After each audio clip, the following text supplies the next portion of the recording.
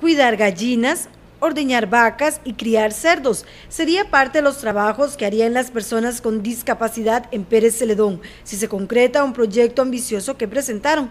Se trata de una granja autosostenible, una propuesta que fue presentada por el Movimiento de Vida Independiente al Consejo Rural de Desarrollo Territorial del Cantón y que a su vez los analiza en conjunto con el Instituto de Desarrollo Rural.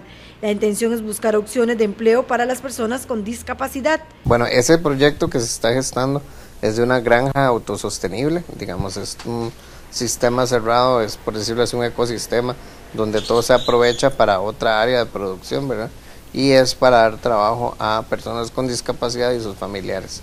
Esto porque sabemos que, bueno, primero que nada la discapacidad es cara y también tiene un impacto fuerte en lo que es el núcleo familiar.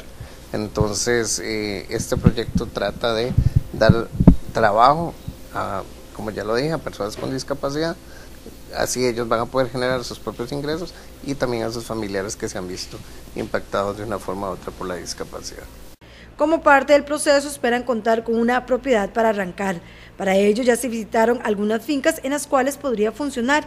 El asunto es que para que se pueda decir qué es lo que necesita la propiedad, pero el INDER por una cuestión de contratación eh, pública, digamos, eh, no puede decir esta propiedad, sino entonces ya eh, se han visto varias fincas en distintas zonas que cumplen con las condiciones y estas son las que se van a proponer al INDER y ellos dirán cuál, cuál resulta mejor para, para ellos. Entonces la ubicación en el momento no se tiene.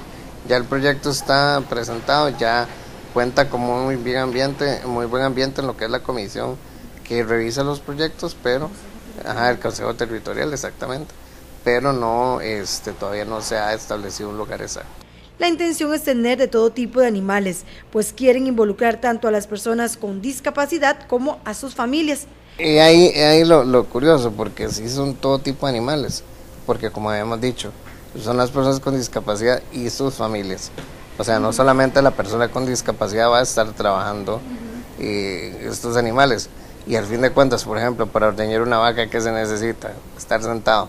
Una persona en una silla de ruedas podría este, ordeñar una vaca si tiene tal vez alguna forma de transportar el producto, ¿verdad? Entonces, eh, la idea es buscar formas de que la persona pueda estar trabajando y en las labores que definitivamente no pueda, va a haber personas sin discapacidad que van a estar viéndose beneficiadas con empleo también. Esta es una iniciativa que hasta donde conocen no existe en el país. Yo creo que nosotros hemos sido mucho de que se nos ocurren ideas y tratamos de buscar la forma de hacerlas. Y esto fue uno de los proyectos que, bueno, mi compañero Luis este, y otros gestaron y, y ya se está viendo como una realidad cercana por lo menos. La intención es que sea aprobada por el Consejo Territorial y ponerla en marcha lo antes posible.